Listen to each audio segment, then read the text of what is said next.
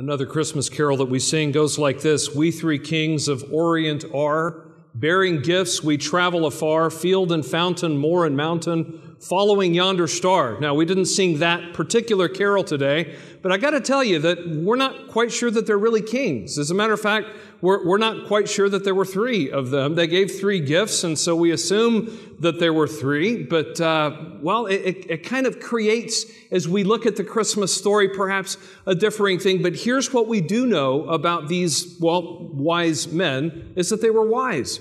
And we call them wise men because they were seeking Jesus. They were wise because when they came and they found Jesus, they bowed down and worshiped him. And they were wise because they laid their treasures before Jesus. And as we look at the wise men, what we realize today is that wise people still do the same thing.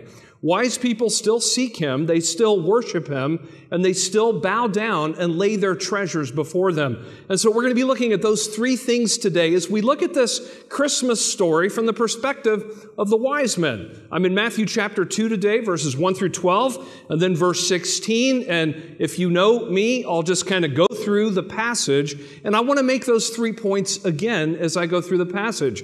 Wise men today, wise women today still seek him, still worship him, still lay their treasures before them. So let's take a look at the first. Wise people today still seek Jesus. They were seeking him. You know, some of us are here today, and I've been a pastor long enough to know that Christmas Eve is, is kind of one of those times where people start to reflect and think and ask questions. And some of us are here today, if we get honest, because we're seeking and we're asking questions and we're looking for is there more to life than what I know? Uh, we're seeking truth, and really at the heart of this, and the Bible explains it, is in Ecclesiastes. We are told that God has set eternity in our hearts. And what that means is God has given us an eternal hunger in our hearts that nothing in this world can fill. And so we try to fill it. We try to fill it with chemicals, with relationships, with activities, with possessions. We try to fill it with all of these things, but nothing works because God has set eternity in our hearts. And what we look at today is that wise people still seek Him, still look for Him because we have this hunger, this thirst, this craving that nothing else will fill. Nothing in this world will fill. Here is what we read Matthew 2, beginning with verse 1. After Jesus was born in Bethlehem in Judea, during the time of King Herod, Magi from the east came to Jerusalem and asked, Where is the one who has been born, King of the Jews? We saw his star when it rose, in, when it rose and we have come to worship him. Now, Magi, here's another thing we know about these, well, wise men. They are called Magi. Now, Magi were probably from Persia, probably from modern day Iran, where modern day Iran is. And so they journeyed more than likely a thousand miles, a hundred days journey to make it to Jesus. The Magi were astrologers who looked at the stars. They were the magicians. They were a part of the Zoroastrian faith. But here's what they're doing. They're thinking to themselves, there's something more than what we believe. There's something more than what we have. There has to be something more than what we see in the stars. And God revealed something to them so that he, so that they were drawn and they were driven ultimately to Bethlehem to worship the one that would be born king. And so here they were seeking truth journeying a thousand miles, journeying over thief infested road, roads, over hard roads, difficult roads, leaving their families, leaving their places of employment, perhaps, as they made finding Jesus, seeking Jesus a priority. And that's exactly what they did as they made their way to Jerusalem. How far would you go? As a matter of fact, how far have you gone to seek truth? Uh, are you seeking truth? Uh, are you there? Are you really saying, God, I've got this eternal void on the inside that nothing is filling? Are you seeking Him? These wise men were seeking Him. And so the Magi go straight to Jerusalem thinking, okay, if the King of Kings is to be born, surely he will be born in one of Herod's magnificent palaces. The king of the Jews at that point was Herod. The one who was being born king of kings was even greater than Herod, and they thought he's got to be in a palace. And so they journey to Jerusalem, to Herod's palace. Well, they don't find him there. Here's what we read in verse 3. When King Herod heard this, that they were looking for the king of the Jews, he was disturbed, and all of Jerusalem with him. And the reason why is if you know history, Herod was a psychopath. And when he, and so here's what he did. He called together all of the chief priests, all of the teachers of the law, and he asked them, Where is the Messiah to be born? And so immediately, when they come journeying from afar, looking for the king, looking for the one born King of Kings, he immediately knows they're talking about the Messiah. Now, he doesn't know scriptures, and so he calls together people who know scriptures, our Old Testament, and they say, Where is the Messiah supposed to be born? And they respond, verse 5 In Bethlehem, they say, in Judea, for this is what the prophet has written. But you, Bethlehem, in the land of Judah, are by no means least among the rulers of Judah, for out of you will come a ruler who will shepherd my people Israel. Now, notice that he has to ask the chief priests and the teachers of the law because he doesn't know where the Messiah is going to be born. And notice that, that, that they're not looking either. Notice that they know what the prophecies say, but they're not looking. As a matter of fact, they're not seeking. And so I wonder how the wise men must feel traveling from Persia all the way to Jerusalem, only to find out that no one else really has made finding this king a priority. Not Herod, not the chief priests, not the teachers of the law. Verse 7 Then Herod called the Magi secretly and found out from them the exact time the star had appeared. He then sent them to Bethlehem and said, Go search carefully for the child. As soon as you find him, report to me so that I too may go and worship him. Now, here's what we know, and we find this out later on in the passage. He has no intent on worshiping Jesus. I mean, as a matter of fact, he has no intent on worshiping anyone other than himself. And, and this is who Herod is. He's, he's seeing now Jesus as a threat to himself, as a threat to his own kingdom, as a threat to his own power. And so he sends the Magi on deceptively, saying, Go and tell me where he is so that I too may worship. Herod was this kind of person. As a matter of fact, we know from history that Herod was so power crazy that he killed two of his own wives and three of his own sons just to try to keep power, just because he suspected that they might be trying to take power from them. That's who he was. Caesar Augustus, who was the Roman emperor at this point, was quoted as saying, I would rather be Herod's pig than his son, because that's how Herod was. And that's who Herod was. So t- take a look at the broader theme of what's happening here, and I'll end with this. But you have two kings colliding in history. One who comes and he's born in a stable, one who lives in the palaces, one who is bent on violence and power, the other one who gives it all up and shows that power truly comes in service and in weakness and ultimately in death. And here you have on the face of this history, you have two kings colliding. Verse 9 After they had heard Herod, the wise men, they went on their own way, and the star they had seen when they went on rose again and it guided them until it stopped over the place where the child was. Then, when they saw the star, they were overjoyed.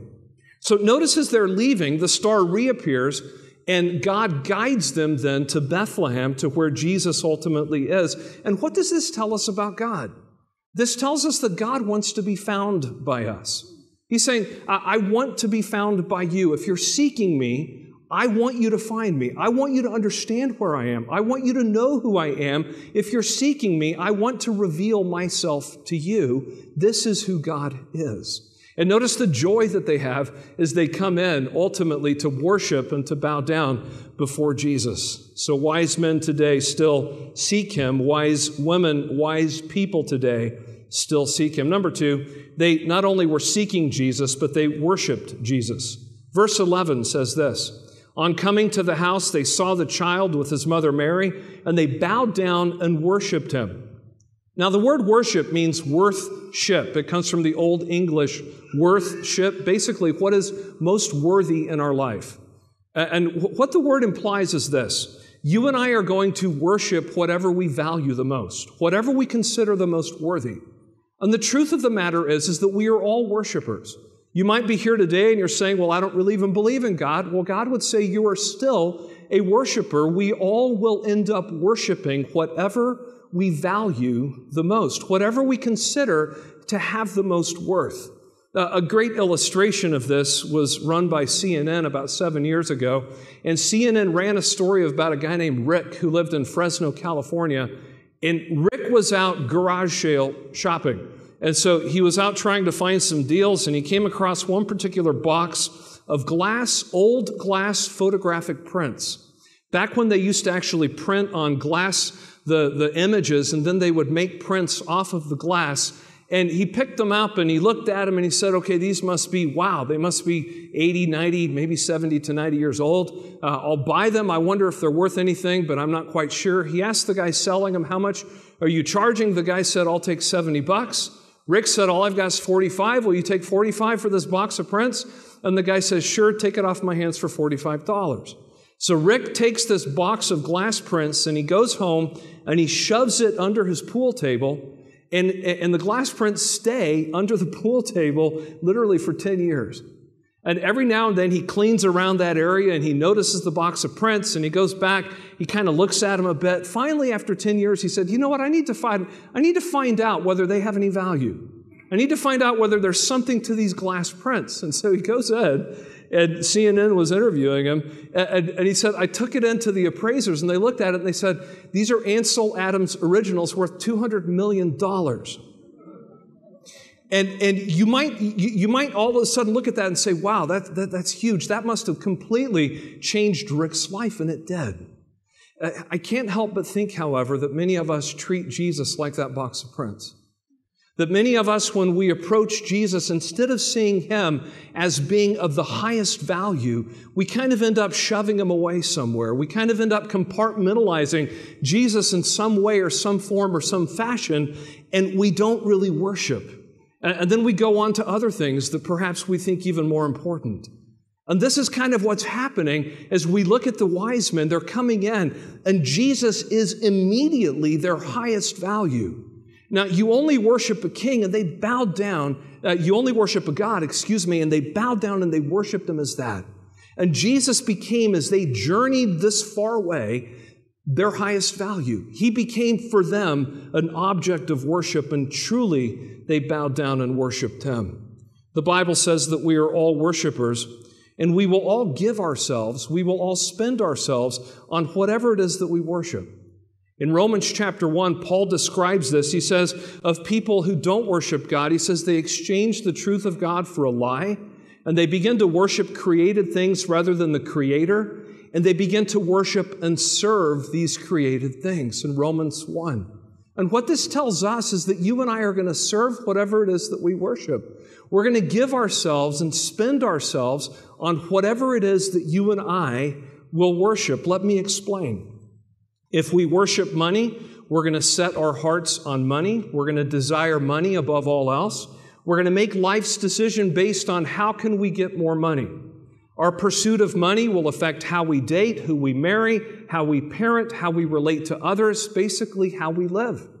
If we worship power, kind of like Herod did, we will set our hearts on power. We will desire power above all else. We will make life's decisions based on how can we get more power. Our pursuit of power will determine how we date, who we marry. It will determine how we parent. It will determine how we live. If we worship pleasure, our pursuit of pleasure basically is going to determine how we live. We're going to set our hearts on pleasure. We're going to make life's decisions based on how do we get more pleasure. Our pursuit of pleasure will determine how we date, who we marry, how we parent, everything about us. If we worship Jesus, if we worship Him, we will set our hearts on Jesus. We will desire Jesus above all else, knowing that only He can fill this emptiness in our soul. We will make life's decisions based on how can we get more Jesus in our life. Our pursuit of Jesus will affect how we date, who we marry, how we parent, how we relate to others. You see, whatever we worship is going to revolutionize our entire life. Our, our life will be spent on whatever it is that we worship. Some of us are sitting here today and we're, we're here, and if we get honest, we've made some pretty lousy decisions and choices in our life. And we're scratching our heads thinking, how could I have made bad choices? And it could be, as we look at the Christmas story, the bad choices come because we're worshiping the wrong things. We're valuing the wrong things. We're setting our hearts on the wrong things. And because we set our hearts on the wrong things, we end up doing the wrong things. Jesus says, Set your hearts on me. Worship me. Only, only in worshiping me will you find freedom. Everything else will enslave you. And so, wise people today, well, they still seek him, they still worship him. And then, thirdly, they lay their treasures before him. Part 11, verse 11, second part of it says this Then these wise men, they opened their treasures and presented Jesus with gifts of gold, frankincense, and myrrh. They worshiped Jesus basically by giving him whatever they had of value. They opened up their treasure chests, literally. Now, why did they do this? Why ultimately did they give to Jesus whatever they had of value? Clearly, it's because they found in Jesus something more valuable. They found in Jesus true treasure, and so then they gave their treasures ultimately to Him.